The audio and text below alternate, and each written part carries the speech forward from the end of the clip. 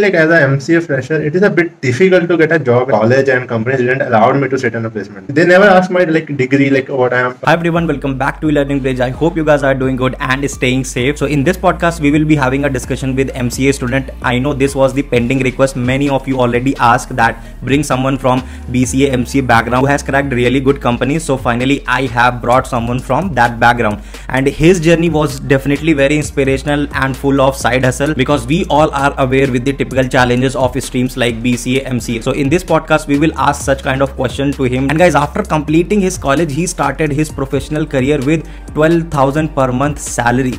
Can you imagine? And just because of his confidence, amazing skill sets, and continuous efforts, he managed to crack amazing product based companies and amazing startup like Yellow.ai, where he is earning 10 times more of his previous salary. So that's why this podcast is going to be really, really amazing. He will answer all such questions, his experience, and how did he get these kind of opportunities, what happened in the MCA, what challenges did he face, and how was everything for him, and journey till this point. So watch this podcast till the very end, at least the folks who were asking asking me to bring someone from the BCMC background and if you like this video then make sure to give a thumbs up. And if you're new to the channel then do subscribe and press the notification icon as well. And we all know to crack good product based companies programming and data structures algorithm understanding is really really important. And here is the platform coding ninjas which can help you in that journey. And they are really really popular for their content their course quality and efficient teaching assistant support. So let me quickly show you the kind of courses they have prepared for you. So if you want to start everything from the beginning they have courses in different languages for the DSA and programming. Those languages are like C++, Java, Python and they've also prepared the courses for the core subjects like operating system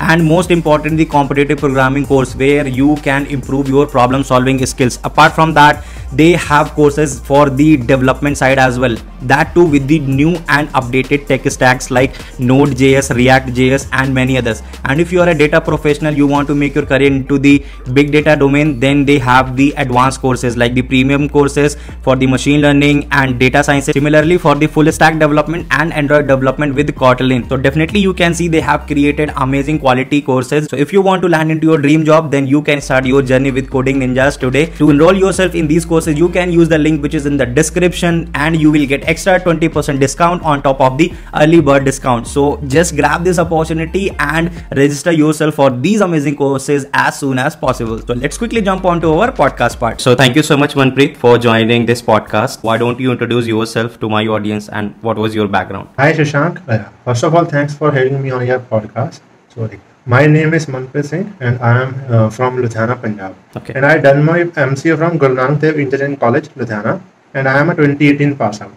And I started my journey from a very small company in Ludhiana. Company name was Oribasis Technologies. Mm-hmm. So I worked there uh, like for more than a year as a full stack developer.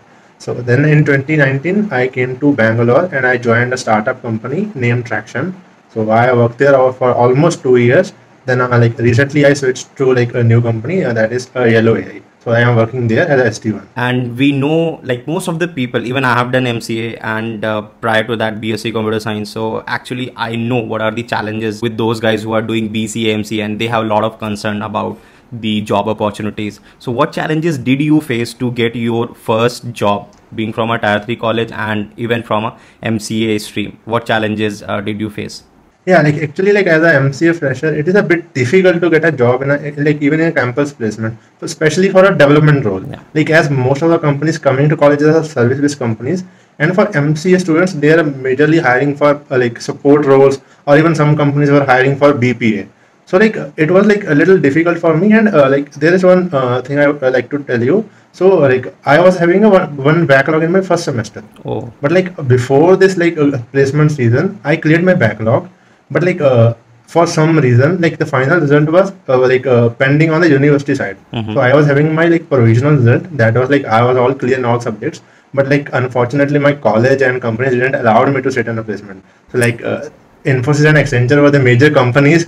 The, those were coming to my college, mm. so hmm. I was not like allowed to sit there. That's so bad. that was like uh, thing. In my final semester, I joined like uh, my first company Oribasis as an intern. Mm-hmm. So like uh, and apart from Oribasis, I got a placement offer from Sapient Globals mm-hmm. from for a QA role. Okay. But like I didn't want to like continue the QA role, so I joined Oribasis Technologies. Mm-hmm like uh, they offered me a full-time role later on during my internship like in, in the colleges there will be different streams like most of the time we need to compete with btechs right So, what challenges were there as a student who is doing MCA? Yeah, actually, like uh, like even in even from like college perspective, they were like preferring BTech students. BTech students are going to like some companies for like they are giving like uh, getting sessions from like company experts, but there are no such thing for like MCA student. Like even like our, our, our teachers are like just focused on mostly on theory. Like we, we didn't provide any like practical knowledge. So like lab like lab was only there for attendance. Just we need to we just go there and sit in front of computer for one or two hours. We used to play games or like search the internet or like uh, we uh, like uh, frankly we used to download movies because internet speeds were really good in my college. but like yeah. So no technical knowledge was there like in college. How good you were in programming and like DSA and development part? Because in most of the colleges we don't get a proper environment or culture or guidance for for these things, right? And since you were doing MCA, so it could have been again a very very difficult thing for you. So if you were not that good, so how did you improve this part to land into a good job? Yeah, actually, like I got interested in programming during my BCA only. Okay. So I started learning web development in PHP, uh, like during my BCA. So I made a one small project in PHP as well in my final semester. But at that time, I just like knew little things regarding development. I was not that much serious. It was just sake of like college, uh, like we have a like project in our curriculum. So like, and although I studied data structures in my like BCA, but I was not that much serious and didn't knew like frankly, I didn't knew that this was a, that important for us to get a job. And so, like, uh, same goes for the MCA. Like in MCA, I learned Java, JavaScript, but like uh, I made a couple of projects in PHP again. Like, but those were like only for college curriculum. Mhm. So like I didn't knew in, uh, like much of programming. Like, but I was good. Like I was able to grasp the concept of programming. Then at like uh, in final semester of my MCA, uh, as I told you, I joined like as an intern in Oribasis Technologies okay so there like my, everything like started changing so i learned android development there i learned angular and like uh, node.js there i started working on like real time projects so i uh, i started taking things seriously and I, in internship uh, i would like to mention like uh, most of your audience might know prabhudeep Yes. so I met him there. He was from college only, but he was in BTech CS stream, but I didn't knew him earlier. So he helped me really like uh, in my journey. So like as uh, you know, he had like many backlogs in his career, but like he uh, even though he he had like many backlogs, but still he had like I think uh, more than ten offers in hand like during the last semester. So like he really inspired me and he helped me like uh, especially in DSA part. So he told me like this is very important. We should learn like to uh, like as a fresher, DSA is like very important because companies majorly prefer DSA. Mhm. Like if, if you are like giving interview as a fresher. Now, Manpreet, we will talk more about uh, your new job role, new company. So now you are working with uh, amazing startup Yellow.ai. So how did you get the interview opportunity for the same? And in the interview process, or let's say before or even during the shortlisting process, did they focus on your degree and college? From uh, like I heard from my friends like in Bangalore about this startup Yellow.ai. I heard like uh, they are a very good culture, a very good company going at a like a very good pace. Okay. So like uh, when I was on my notice period, I already have like uh, three four offers like including Paytm as well. Nice. So uh, like I uh, like messaged one recruiter from Yellow.ai at LinkedIn. So like I asked him like uh, regarding like full stack web, web development positions. So he said like uh, like uh, he scheduled my interviews. They never asked my like degree like what I am what I have done like uh, what are my marks. They never considered those things. Like only like one time they asked my degree. That was like for documentation purpose. That was after like the offer was released to me Okay. most of the product-based companies or like the uh, like modern startups, they don't like focus on your degree or marks. But the problem with MCA is like you don't have that kind of exposure in your college. So like when I was fresher, I didn't knew how to give interviews, how to approach. Uh, like uh, I didn't use LinkedIn that much. I had profile, but like I didn't knew how to get interviews. That is a major challenge. Correct. I didn't knew like I should prepare for DSA. So, what is the interview process, overall interview process of Yellow.ai? What all things they were focusing on during the interview? So like uh, there were total four rounds in Yellow AI. So like most of the time they were focusing on system design. Like uh, so as I have like more than three years of experience, so they were more focusing on system design. Okay. Like first round was like mix of system design and a problem solving. So they asked me a couple of uh, DSA questions. One was on linked list and one was on array. Both are like medium level questions. Okay. So, and uh, in system design, they asked me to design a like, social media feed, just like Facebook or Instagram. Social media feed I need to design Okay. in the first round, and then in second round, that was like completely focused on system design. That was like a really long interview. Uh, so they uh, asked me to design a ticketing system, like support ticketing system. Okay. So in which like uh, customers will raise a like ticket to any company so it should be auto assigned to like uh, uh, support engineers and that kind of system they uh, like asked me to design like the whole lld i designed a whole like from apis to database schema i have to like uh, write the pseudo code for that Okay. and apart from uh, like system design uh, they asked me a couple of like uh, react questions uh, and uh, like uh, what is like debouncing how we are implementing those kind of stuff in react or like they asked me to write a code for virtual list how we like make a virtual list in react. And then the third interview in third interview like it was like completely focused on javascript.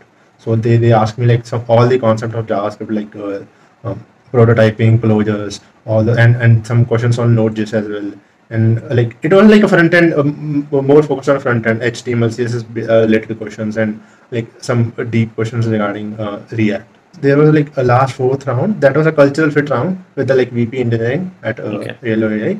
So like it was like a more like a, a open discussion round. But at the end, uh, he also asked me like uh, to design a system. Like he gave me ten minutes to like uh, quickly like uh, come up with the schema and APIs. To, like uh, like at that time, COVID was like uh, really like second wave was going on. So he asked me to design a system to like help patients to find out like beds in a hospital. Majorly, they focus on system design. share some important tips and resources which you followed during the interview processes because you were the working professional you were working in another company and along with that you were preparing for next companies right so uh, during that preparation what all things you applied what all things you focused and what all resources you used Yeah, so like uh, one thing I would like to mention first is like never ever leave like uh, the, practicing DSA. Hmm. So like I used to do this like uh, like like at least if you have a good command over DSA, uh, at least try like one question or two questions per week. Do not leave it. Like uh, so like keep practicing uh, like uh, like, keep it regular DSA practice. And apart from DSA, like if someone wants to be like web developer or like a front end developer, so what like most of the freshers, even I did that. They like they assume they knew they didn't know HTML and CSS part. They kind of like skip that. So like they directly jump into like Angular or uh, like React frameworks. They directly start using Bootstrap. That is okay, but like I will suggest first try to learn like the basics of CSS. Try to make some static websites like uh, only in pure CSS and HTML, no JavaScript, nothing else. Just try to like uh, like search for good themes on internet. Try to just copy them.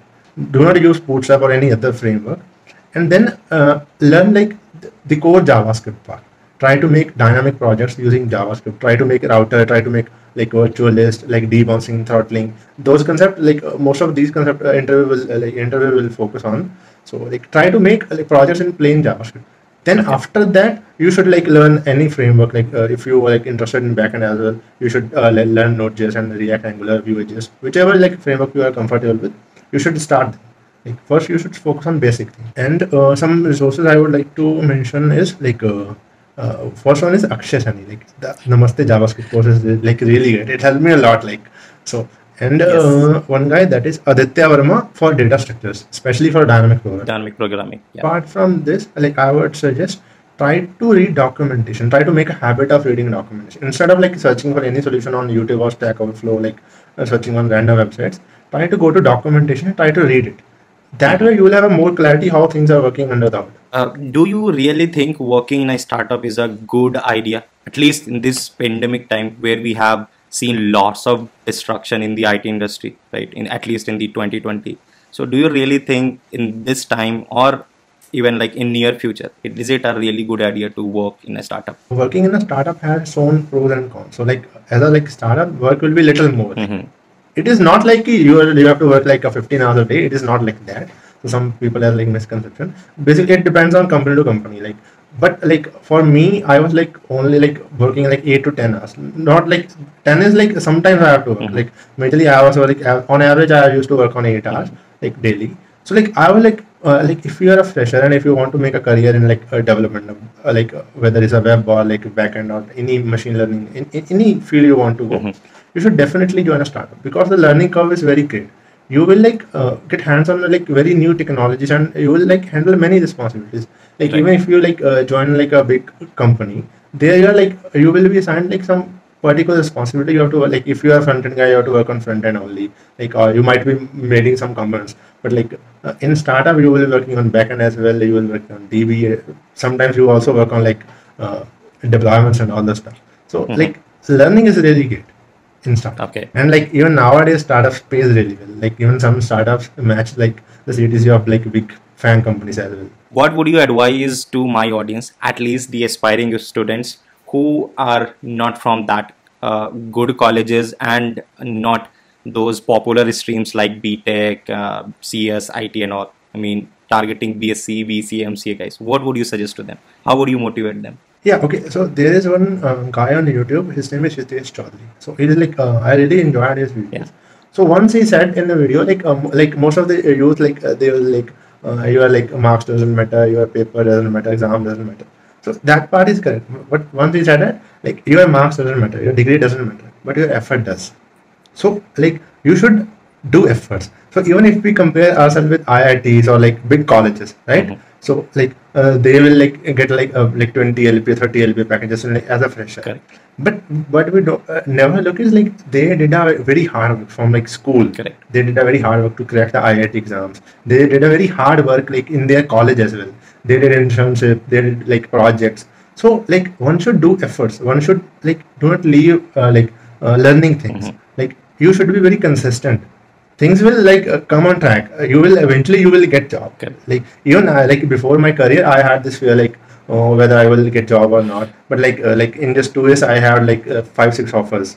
Nice. So you should be consistent. What you are trying to do, like whether you are a UI developer or like or like you are a backend or whatever you want to do, you just need to be consistent and, and you have to make efforts. Yeah, that's that's There, there is no shortcut to success. That is like a most cliche line, but that is true. There is no shortcut. yeah that's true i mean uh, the part which you said uh, your efforts will matter and the consistency i mean these are the two shortcuts you can say direct shortcuts to uh, like just uh, place yourself in that kind of position so i think that was really good manpreet whatever experience you have shared with my audience and i think it will boost up the confidence of uh, those people who were reaching out to me like uh, uh, bring some folks uh, who have done BCMC and crack good companies so i think this will be an eye opener uh, podcast for them so uh, again thank you so much manpreet from my side and my audience side it was really great to have you on Yeah, the podcast thank- thanks a lot. Thanks a lot for having me.